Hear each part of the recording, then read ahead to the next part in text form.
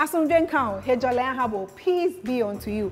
My name is Nacha Eniope, and every week on PCG TV, I give you the opportunity to hear from very prominent ministers of the Presbyterian Church of Ghana on the program that Personality Profile. It promises to be fun, uplifting, and everything you ever imagined in a show here on PCG TV. PCG TV, in thy light there is light.